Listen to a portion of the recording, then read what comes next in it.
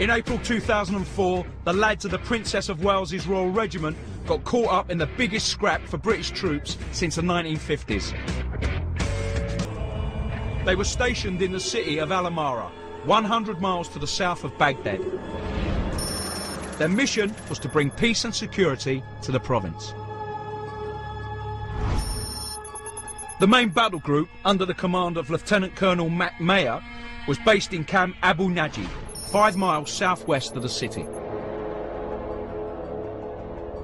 But Y Company, under Major Justin Featherstone, was moved into the Dragon's Den, downtown Al-Amarah.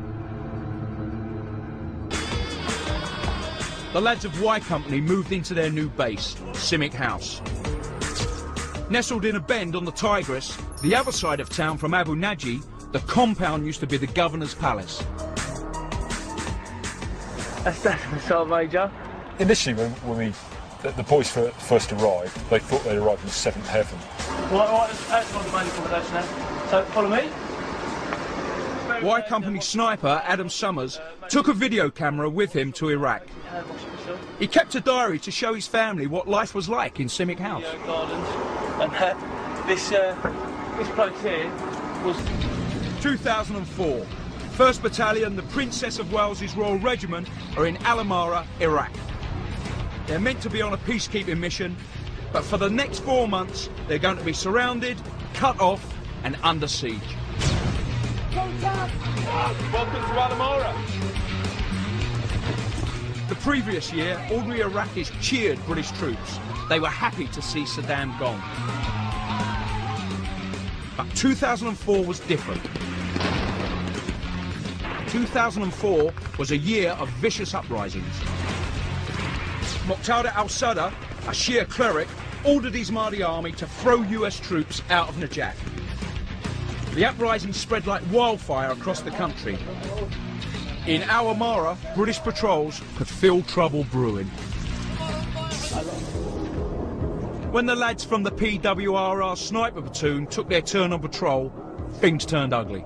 we come under our first contact, uh, which was on the 18th of April, and that was our first actual foot patrol, um, and it was a, familiarisation patrol. We go around the city, um, know the hot spots, uh, the certain da- danger areas, and get a feel for the ground and, and the feel for the way of life out there. Sergeant Mills uh, that day was uh, patrolling down quite near to the office of the, the Marsada, and some of the locals were getting agitated. Danny Mills's patrol didn't realise it at the time, but they had parked up outside the local office of militant Shia cleric Muqtada al-Sadr. Not a good idea. One of the lads on the top of the, one of the vehicles saw weapons being poked out the window, and literally as soon as we'd seen those, a grenade come flying over the wall, sort of like hit, hit Daz on the on on the breastplate, you know, and bounced under his vehicle, and then and then it went off. Next thing I see, Daz, you know, come running towards me, limping, you know. And I was just getting to the back of the vehicle when the grenade went off, and there's a certain sense that's like, is this really happening? And I don't know why, but the guys that were doing top cover for me at the time, not one of them returned any rounds. Danny took out one of the guys and then just said to us, right, rapid fire. And then, and then that was it. And he was in a, a full blown contact.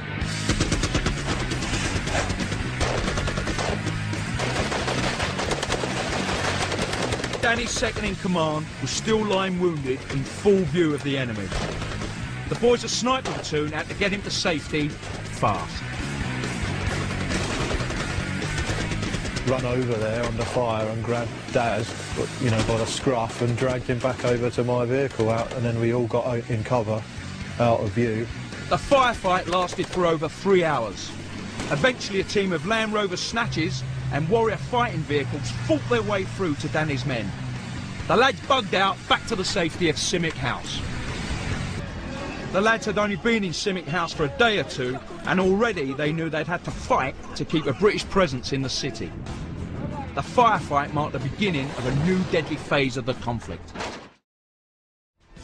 The net closed around CIMIC House as Mahdi Army fighters surrounded the compound.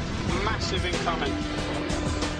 Y Company was now completely cut off from the rest of the battle group in Camp Abu Naji. The siege of CIMIC House had begun. My mission changed and became to deny CIMIC House and the Pink Palace to the enemy, and it was as simple as that. Y Company were holed up in CIMIC House all that spring and summer. An uneasy ceasefire was called in June. But if the lads thought that was it, they would have been very wrong. On the 5th of August, tensions between Al Sadr and US Marines at the shrine of Imam Ali in Najaf exploded again. Today's violence reignites the old fears of a Shiite rebellion across southern Iraq. The Shiite ceasefire is over. Andrea Catherwood, ITV News.